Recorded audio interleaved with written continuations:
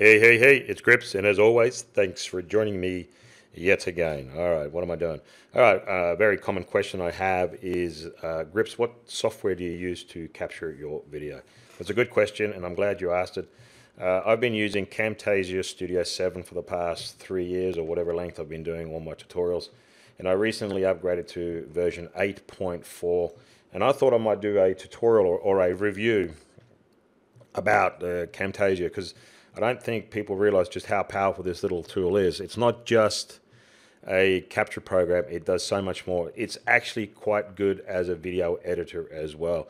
So I'm, this is a review, so it's not a tutorial to show you how to use it. I'm going to show you some of the really cool features of what it can do. Not everything, just some of the really cool features. So let's get cracking on that. So now one of the first things that I noticed that was kind of cool in this version is I can sync any mobile device to Camtasia Studio. So uh, hey, I've got my webcam on today, and uh, here I'm using uh, just an, an, iPad. Yes, it's red and it's got Angry Birds on it. it's mine and deal with it. All right, so let's do something really simple. I'm to uh, take a video of the screen or my desk and then I'm going to immediately sync that to Camtasia Studio and I will show you just how quickly that is done. So um, here's my keyboard yes and um, whatever else I've got. I'm just taking a video of my keyboard just doing something really rough and I'm going to press done on my video and then I'm going to upload it. Now watch the screen how quickly that goes. I'm going to uh, basically sync it now and bam there it is. See how quick that was? So I've, I've took a video of uh, onto my iPad and I uploaded it directly to Camtasia, and it was done, you know, within a matter of seconds. And let's have a look at my key. Here's my keyboard, yes, and uh, whatever else I've got. There you go, and that's how quickly I can do things with my phone or iPad. And that's a pretty cool feature. Let's say I'm doing a tutorial on bike maintenance and I want to show the audience uh, you know, hands-on onto the bike itself. I can grab my phone, go downstairs, take a video, and I don't have to mess around with you know connecting everything. I can just sync it and it uploads directly, and I, uh, my workflow is going to be so much more efficient. And that's pretty neat. And I've never ever seen that in any uh, software before, so I thought that was a really neat feature. Uh, another thing I found really cool about this software is uh, text-to-speech. Uh, you see here, apply speech to text, and it does exactly what it is. Right now I'm speaking, and if I wanted subtitles in English, let's say the person or the viewer is deaf, uh, I don't have to sit there, listen to myself speak, and then go, oh, okay, and then type out the words. I just let it, the, or the software do that for me. It will literally decipher what I'm saying. Now, it's not new. This is the thing. It's new to this, and I've never seen any other software do this uh, all Windows operating systems come with a speech to text or, or, voice recognition, right? So what what Camtasia has done is taken advantage of that. It uses the software from Windows to identify your text or your speech and then creates the subtitle. So uh, it's obviously going to set it up for you. So if your friend uses it, it may not work as well because it's you need to teach the Win operating system your tone, your speech, and everything, and then it translates on here quite well. Now, like I said, this is um, mainly they came out for screen capture, but it does an awesome job just on video editing. It's actually quite surprising how well it does just in video editing.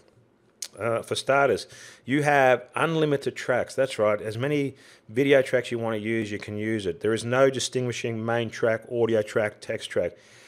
Uh, green screen, yes, it uh, has it can has a green screen option as well. So let's drop that onto a track. And I'm using track two, and it doesn't really matter what track it's on. I didn't set it up properly, and I did that on purpose because I really want to show you. Now here I am.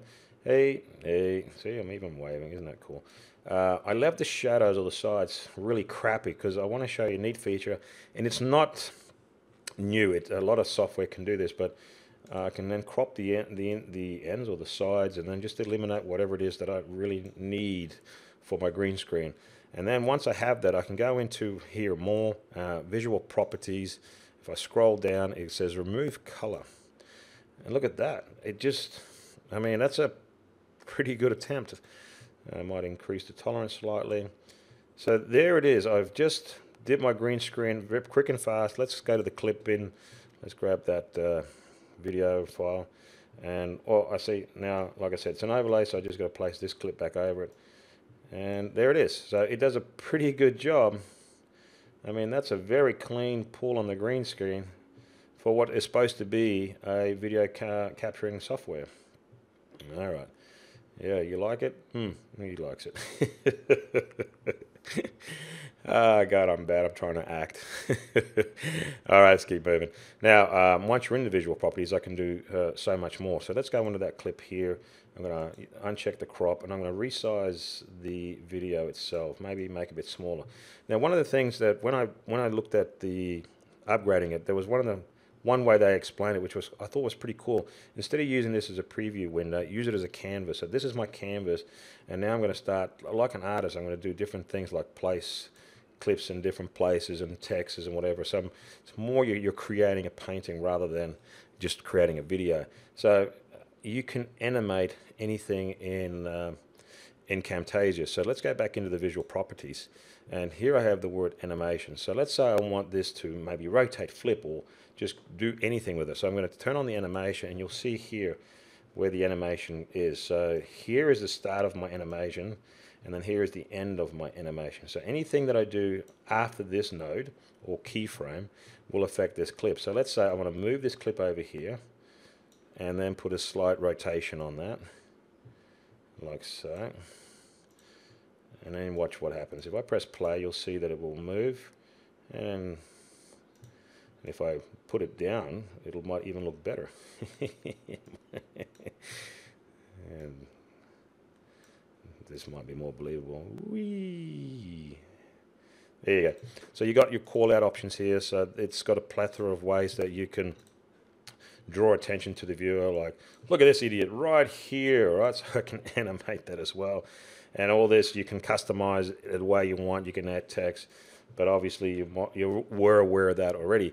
But the library is another feature here that I'm quite impressed with. You go into the library and it, it gives you lots of different ways that you can theme up your projects like uh, matching color banners and callouts and whatnot and you can see it does come with a host of them it's quite a large collection here and you can always just go get more media. It'll launch up your web browser like this, and it'll take you to their website, and then you've got an absolute plethora of more themes that you could use to spruce up your your videos.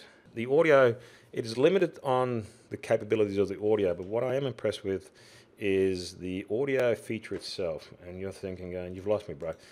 All right, so here's, I need a clip that has a bit of sound so you can see the waveform format. Let's just uh, delete all of that and let's grab this one here. All right, so here you can immediately see the wave format. Now, what happens if you want to sync your audio to another clip that has audio like you did multicamming, right? So you want to zoom in on this. So for starters, I can really zoom in on that. So I got my my thing here. These here, I'm just selecting different tracks. So I'm just, and again, I'll show you why, what, what the, the purpose of this is. But let's say, uh, I want to work on a wave format just in here so I can zoom in on that like so so there you go. And then I can do even more of a zoom like so. So I can really visually see my wave format so I can really work with that wave format. And if I go into these different tabs here like audio I can then change the volume up and down do fade ins and so forth and so forth. And that's a pretty cool feature. But like I said there is there is a limitation to what the audio does some of the non-linear editing obviously does a far better job than what this does, but that doesn't mean that it is it is bad. It's quite good. One of the cool things about this, they've obviously realized that a lot of people now watch it on uh, their iPads and their phones. So what they got, there's an auto function here. It's called uh, Smart Focus or Smart Follow. So wherever your cursor is on when you do your tutor the uh, tutorial, and when you finish, it automatically then places all the zooms in for you. So if you're on a mobile device, because you've got very limited screen space, if you move your cursor, say, to the upper left-hand corner, the screen follows you rather than making the screen like everything smaller. It actually zooms in for you. So it's a smart follow focus and it focuses it for you. So that's a pretty good idea to have when you're doing a tutorial and you forget that there are people using their mobile phones to view your tutorial. And that's a pretty cool feature as well. And if you're confused, fine, I will do a tutorial on different features of what this software can do. And this is just an overview of some of the capabilities. Anyway, I'm probably rambling on. I've lost probably 90% of the viewers in the first two minutes. But anyway, for those who stuck around, as always, thanks for watching.